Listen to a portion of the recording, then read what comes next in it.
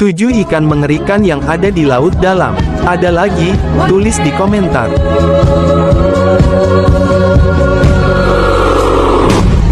7. Ikan hacer 6. Ikan gulper